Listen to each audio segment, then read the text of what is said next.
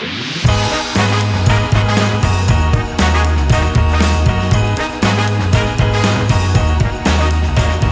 Good afternoon. We are in the kitchen this afternoon because it is gloomy outside. It was raining, but it stopped, but it's still pretty cool out and rainy, and this is the perfect time of the year to make a soup. And especially this soup, because this is an Italian soup. It's called Italian penicillin. I don't know the true Italian name for this soup because I'm not Italian and I've never made this soup. So we're going to make this together. And the reason I'm making it is because you'll notice my voice is a bit raspy. I have something going on and I think it's probably allergies or something like that.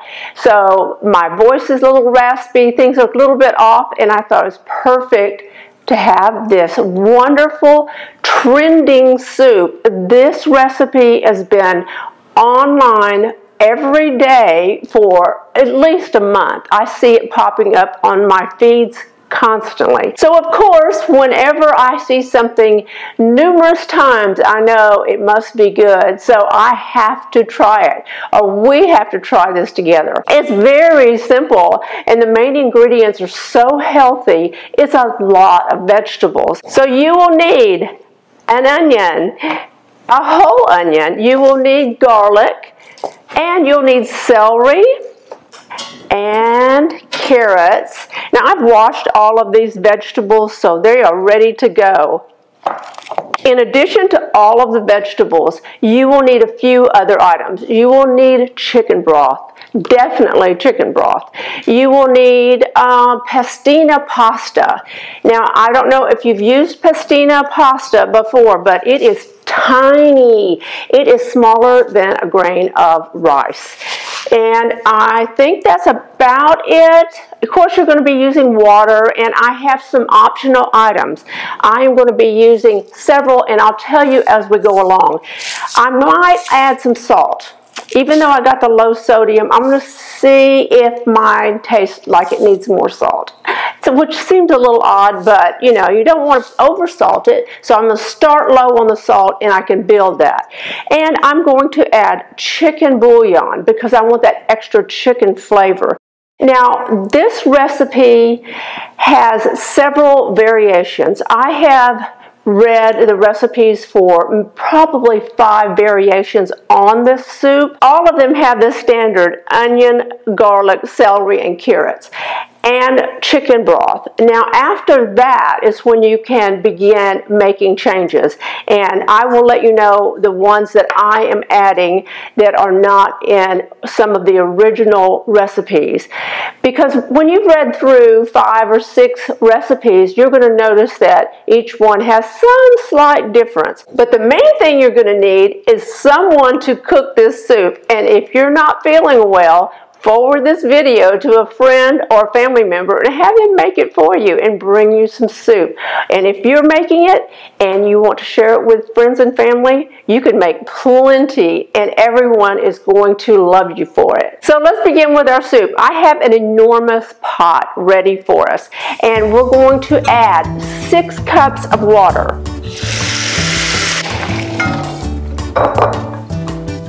Wow, exact measurement. That's impressive.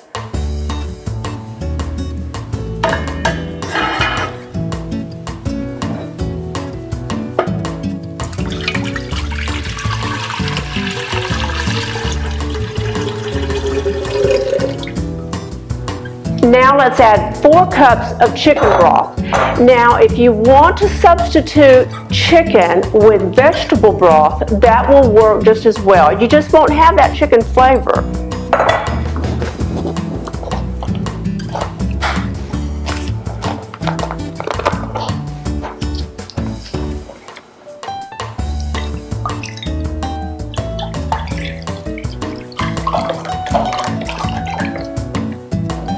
So that's one large container of chicken broth. This is Progresso, and that is 32 ounces.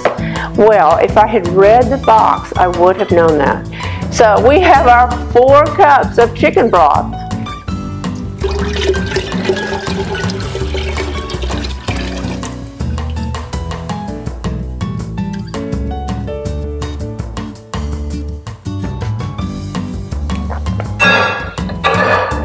Okay, now we can start with the vegetables.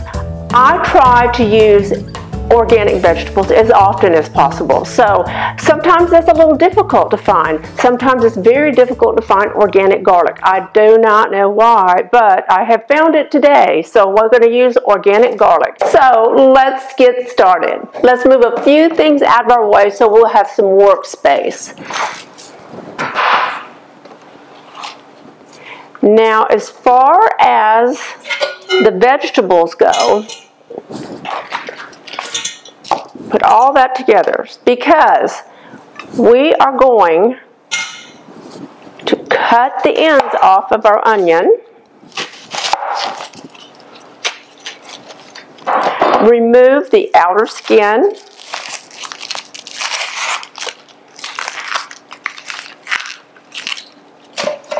And that's it. We're going to add that to the pot and I'll show you in a moment. You will need three ribs of celery.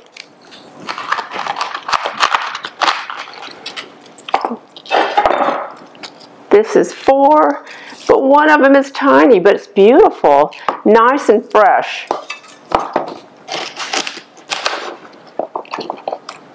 And like I said, it's already been washed. So we're going to set that aside. Let's use this little guy right here. That's not too much extra. So we have our onion and, and we have our celery. Right there. I'll put it back in the refrigerator later. You will need six whole carrots.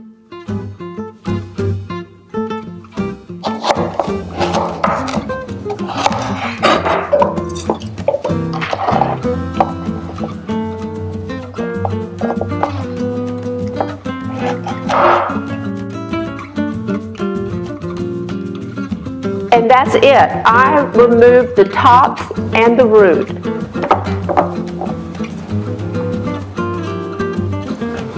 Put my extras over here. Now we're going to prepare the garlic.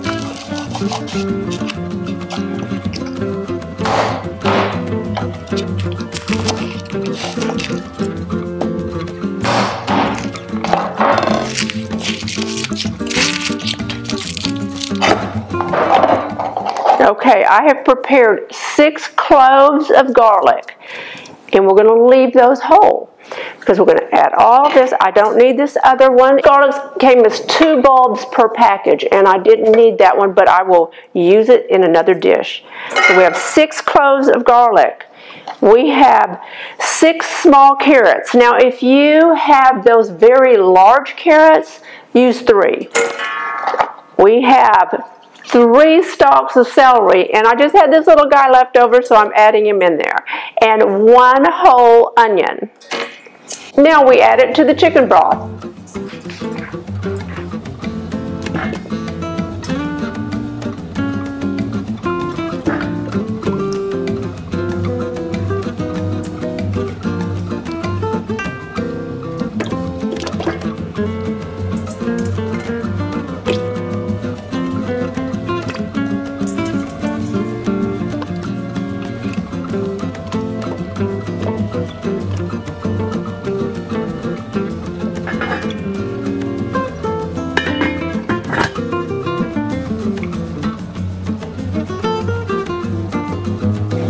Now we have everything in the stock pot and we're going to bring that to a boil and we'll allow it to cook for 45 minutes.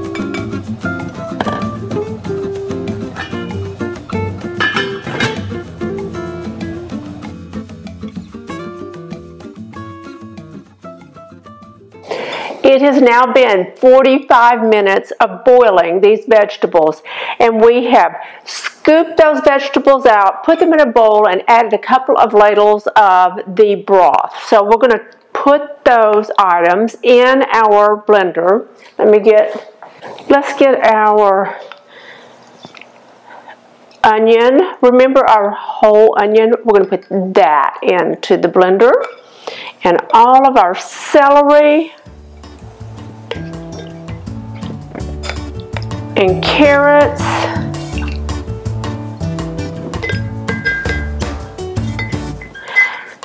I do wish you could smell this. It is incredible.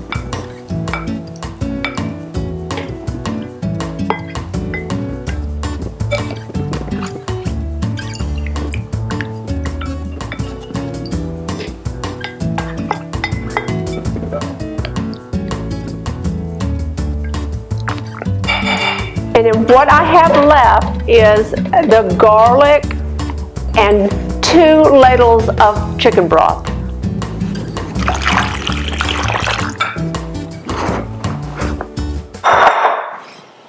Ah, wonderful. We're going to close this up tightly and blend. This is a great time to add a teaspoon of chicken bouillon. So let's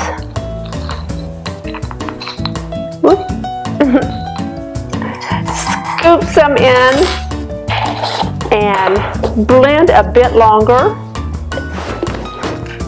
Now remember that is optional. That was my choice. And also the salt. I'm not going to add salt yet. I'm going to wait and see how salty it is. Because our family is very sensitive to salt. We can really taste that salt. But if you love that salty flavor, go ahead and add a bit.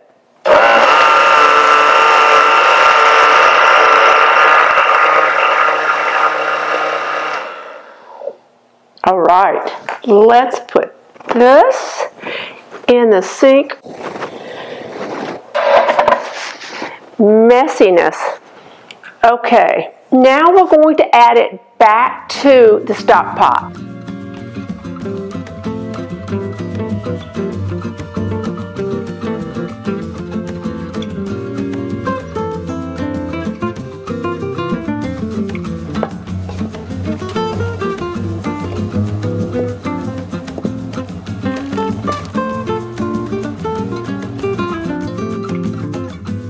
While our soup continues to cook, I am boiling lean chicken breast and shredding it, and we can use that as an optional ingredient.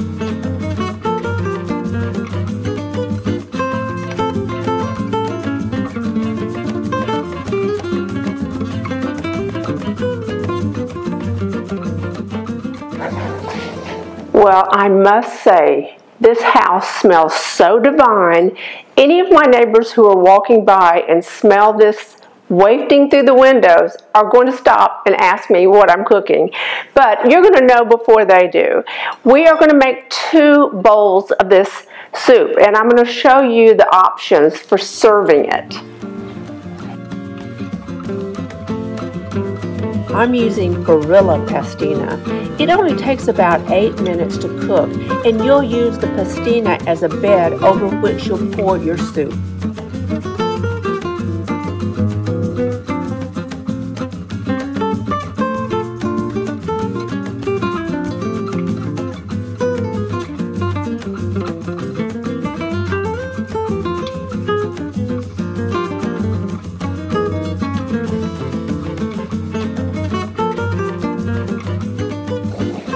Well, here we have it. This is the simplest version of Italian penicillin soup, which is it's a horrible name, but if you're not feeling well, it makes sense. Let's try this.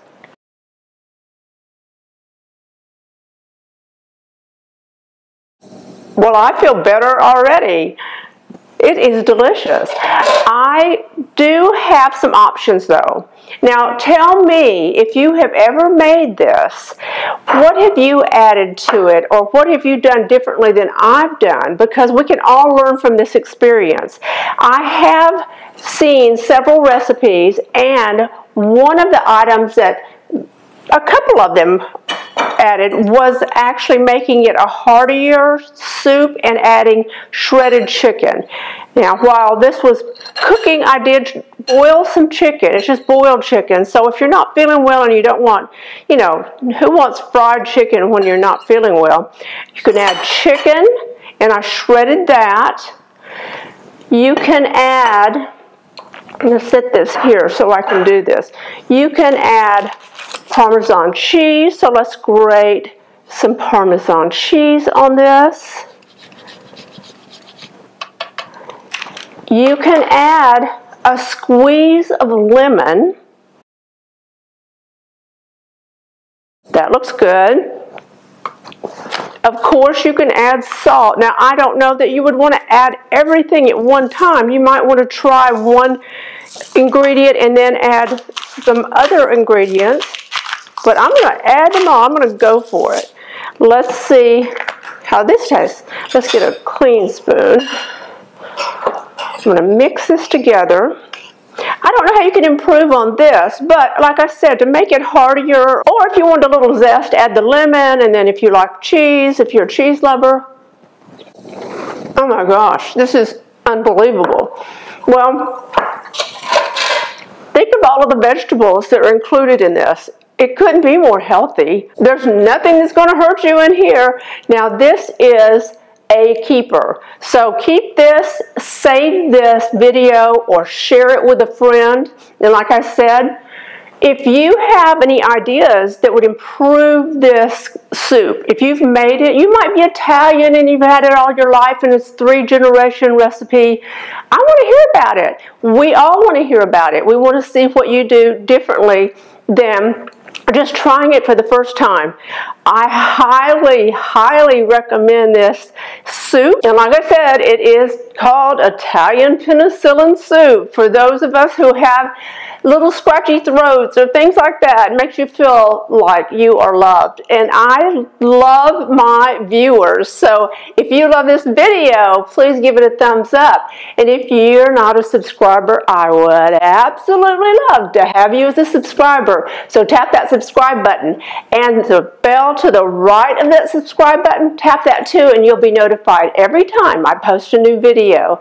And don't forget, you can follow me on Instagram. Bye.